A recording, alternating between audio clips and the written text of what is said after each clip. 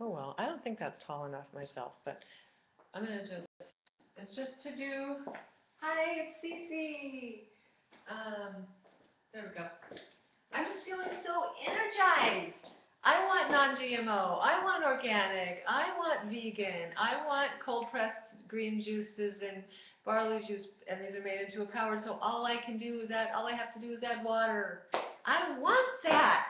That's what I've been waiting for. That's what I've been wanting. I've been so frustrated.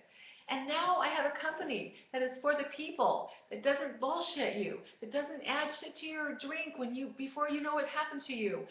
Now I'm with a company that has good perks and bonuses, and that's something I can live with, and I don't have to have a basement full of products I don't use. And I don't have to be embarrassed to my friends because the prices are not exorbitant. So all I'm doing is helping my friends get what we already did anyway for 30 years, was eat organic vegan foods, but now they're put together in an intelligent way with, with a guy who's been doing it a long time. He even talks to the farmers, for God's sake. He goes out and they enrich the soil with mycelium mushrooms, for example. Okay, I toured the company and I'm happy and I'm pleased to be an independent distributor. I love And I'm on the 10-day transformation pack.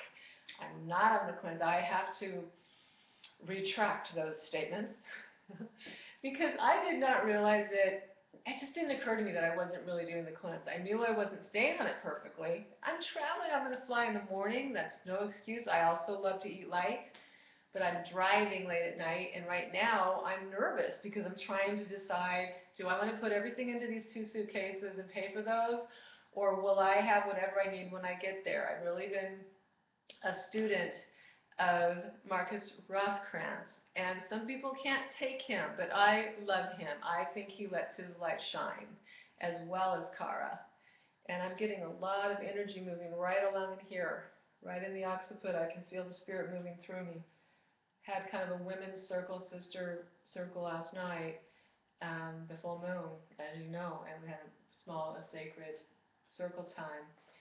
Um, but I wanted to check in today because it, what I'm really doing is I'm using the Purium products from the day I got to the United States till now. So, and some of those days were enough to help me drop two pounds and have a more notable, you know, more slender, a little bit more slender physique because the master aminos are making, firming up what's here what I already got. They're firming that up and working with it. And the greens are, the things that the greens are doing are um, creating more higher quality body tissues cell by cell. It's feeding my cells good food. So that's what's happening right now. And I look so much better and I feel so much better and I have so much ener more energy. Um, that's why I'm going to take the, the Apothe-Cherry to kind of calm me down and I made a little bit of sort of a, a Bob's Red Mill oat cereal, um, excuse me, rice, a ground my, uh, rice cereal, which I can show you in a second. But I don't want this to be too long and my battery's low. So um, all I'm saying is that the 10-day transformation pack, if you want to use it more to kind of a continuation lifestyle pack, which that is the 20-day, that is more descriptive of what I've been doing because I have the Love meal replacement as well, and that's a, hefty shake.